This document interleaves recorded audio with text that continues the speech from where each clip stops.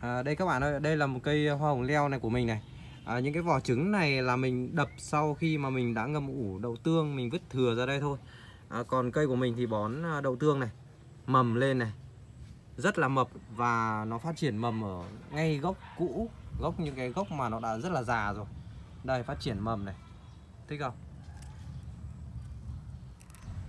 Xin chào quý vị và các bạn. Video ngày hôm nay mình sẽ chia sẻ với tất cả các bạn uh, loại phân được làm từ đậu tương. Thì uh, một cái loại phân mình nghĩ là tốt nhất để dành cho những cây hoa hồng. Và đối với đậu tương ấy thì uh, khi mà các bạn bón vào thì nó có rất là nhiều cái tác dụng uh, giúp cải tạo đất và giúp cây phát triển tốt, giúp cây bật mầm tốt và giúp uh, cây sẽ phát triển bổ rễ tơ tốt. Uh, trong đậu tương thì nó có rất là nhiều những cái thành phần à, ví dụ như trong đậu tương thì có đến 40% protein à, 10 đến 25% là lipid và 10 đến 15% là glucid. À, ngoài ra thì có các thành phần khác ví dụ như Fe, mangan, à, PKNA à, ngoài ra thì có bao gồm các vitamin à, vitamin A, B1, B2 vitamin D, vitamin E à, F và một số những enzyme sáp và nhựa. À, sau đó thì à, loại phân này thì được kết hợp với à, chuối và kết hợp với trứng. Ngoài ra thì còn được ủ thêm các thành phần khác để chống làm à, có mùi hôi và giúp à, phân phân hủy nhanh hơn. À, ngoài ra thì à, có bổ sung thêm humic. À, thì đây là một cái loại phân có thể nói là nó giúp cây phát triển rất là tốt à, làm cho cây phục hồi bổ rễ khi mà ở trong cái tình trạng à, khắc nghiệt của thời tiết cũng như là giúp cây à, sẽ ra hoa to hơn màu đậm hơn và cây phát triển sẽ rất là mạnh. Ở đây là đậu tương. Đậu tương sau khi mà đã được xay nhuyễn như thế này thì ờ, khi mà ủ nó cũng sẽ phân hủy rất là tốt. Và nếu như các bạn ờ, có số lượng ít cây thì các bạn cũng có thể xay nhuyễn nhỏ như thế này. Ờ, sau đó thì các bạn có thể ngâm vài ngày, không các bạn không nhất thiết phải ngâm lâu. Các bạn có thể ngâm khoảng một tuần thì khi mà đậu tương được ủ nó sẽ uh, tạo ra một cái mùi chua. Và lúc ờ, khoảng một tuần đó thì các bạn cũng có thể kết hợp mang ra bón cho cây. À, hoặc các bạn có thể uh, xay nhỏ như thế này sau đó thì các bạn có thể trộn lẫn với giá thể. Thì khi mà trộn lẫn với giá thể thì đầu tiên ấy, thì cây nó sẽ phát triển không được nhanh.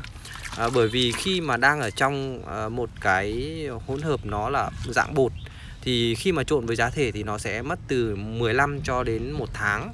Thì lúc đó cây của các bạn nó mới có thể hấp thu được những cái chất dinh dưỡng này. Và nếu như các bạn ngâm uh, cái loại đầu tương này uh, với nước sạch khoảng một tuần các bạn đổ vào trong cái lọ. Sau khoảng một tuần thì khi mà uh, nó đã lên mùi chua thì các bạn có thể hòa lẫn với nước các bạn có thể tưới cho cây. Thì cây cũng rất là tốt à, còn đối với riêng khu vườn của mình khi mà mình đã à, ngâm ủ và mình có bổ sung thêm à, chuối và trứng à, cộng với những cái thành phần khác thì nó sẽ nâng cái hiệu quả tối đa khi mà sử dụng cái loại phân bón humic đậu nành này. Thì à, đối với cái dòng phân này thì mình nghĩ là nhiều bạn có thể làm được.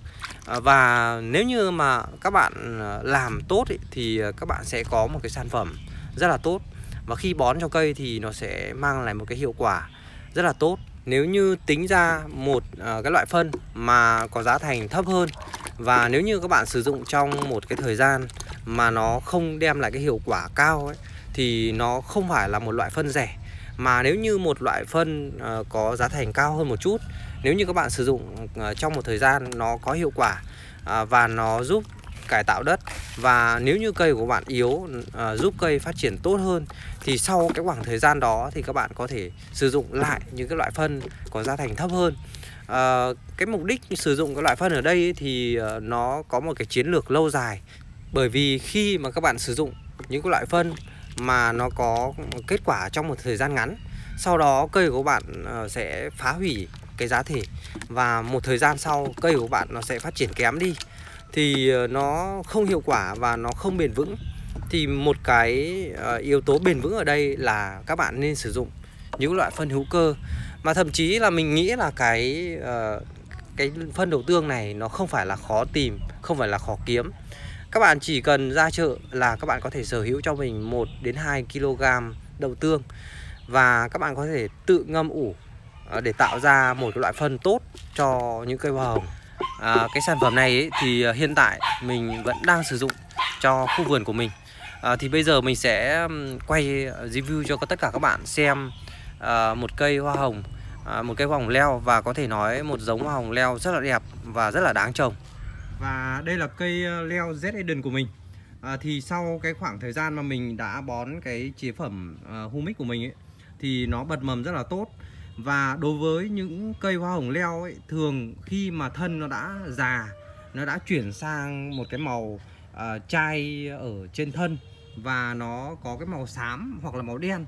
Khi mà thân nó già rồi thân nó to ấy, và nhất là cái cây uh, hoa hồng mà Z Eden à, nó thuộc dòng hồng leo nhưng mà thân nó rất là cứng và nó vươn rất là cao thì đa số xu hướng của cái cây hoa hồng leo Z Eden này nó sẽ có cái xu hướng là bật mầm ở phía trên ngọn và nó sẽ dồn hết cái sức để vươn lên phía trên. Và rất ít khi nó bật mầm phía dưới gốc và nếu như khi nó bật mầm dưới gốc ấy, thì nó sẽ ra những cái mầm rất là to. Và thường ấy là nó chỉ chỉ bật từ khoảng 1 cho đến hai cái mầm. Thế nhưng cây của mình ở đây thì các bạn có thể phát hiện ở đây là nó bật rất là nhiều những cái mầm ở phía dưới gốc và mầm nó rất là to. À, nó phát triển ở đây khoảng 5 đến 6 cái mầm thế còn ở phía trên ấy thì nó cũng đồng loạt phát triển ra những cái mầm non ở đây. Mặc dù thời tiết nắng nóng thì có những cái cành nó khô khẳng khiu nhưng mà nó cũng đang phát triển ra những cái mầm nó rất là rất là tươi và non. Thì đây là một trong những cái kết quả nó rất là hay à, khi sử dụng cái sản phẩm. Đấy và cái và cái sản phẩm của mình ấy thì được đóng chai ờ, như thế này.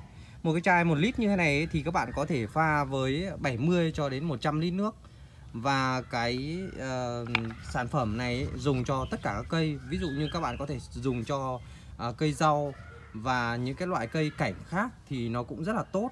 À, sản phẩm này thì các bạn có thể pha với một lít một lít chế phẩm này các bạn có thể pha với 100 lít hoặc các bạn có thể pha 70 lít nước cũng được tùy từng cây. Ví dụ như những cái cây mà yếu ấy, thì các bạn có thể pha loãng hơn một chút. Còn những cây mà đã uh, phát triển ổn định phát triển không bị uh, mòn không bị uh, lụi cây thì các bạn có thể pha đặc một chút để cây có thể hấp thu tốt hơn. Uh, đây là những cái thành quả mà mình cảm thấy rất là tuyệt vời à, đối với những cây mà nó có khả năng phát triển mầm tốt như thế này. Và bây giờ vẫn chưa thực sự vào à, mùa của những cái hoa hồng nhưng nó phát triển rất là mạnh và phát triển rất là tốt thì một cái kết quả rất là đáng mừng và đây là cái cây leo Z Eden của mình các bạn nhé. Đây à, hôm trước mình đã cắt bỏ cái lứa hoa ở đây. À, và mình đã phun thuốc uh, nấm xanh ở đây. Đấy và nó phát triển ờ, dọc những cái mầm này. Rất là thích này. Mặc dù là nó đang rất ít lá nhưng mà mùa hè à, sau khi sử dụng thì nó đã phát triển mầm như thế này, đấy. Thế còn đây là những cây hoa hồng leo khác mà mình đã sử dụng. Nó phát triển mầm cũng rất là tốt. À, cũng ra rất là nhiều nụ và à, những cái sản phẩm của mình ấy thì à, mình à, đã có mặt rất nhiều các bạn sử dụng và cảm thấy nó phát triển cũng rất là tốt kết quả cũng rất là đáng tuyệt vời. Uh, mình rất vui vì ờ, đem lại cho tất cả các bạn những cái chia sẻ và mình nghĩ là cái chia sẻ của mình thì các bạn sẽ hiểu sâu hơn. Và nếu như các bạn có thể làm cho mình những cái sản phẩm tốt thì các bạn hãy cố gắng làm để cho cây hoa hồng của chúng ta phát triển tốt hơn à, còn không thì các bạn có thể liên hệ với mình qua à, Facebook chuẩn Row Garden hoặc à, các bạn có thể à, để lại bình luận ở phía dưới video này thì à, mình có thể à, chia sẻ với tất cả các bạn à, nhiều hơn. À, Xin chào và hẹn gặp lại tất cả các bạn ở video lần sau.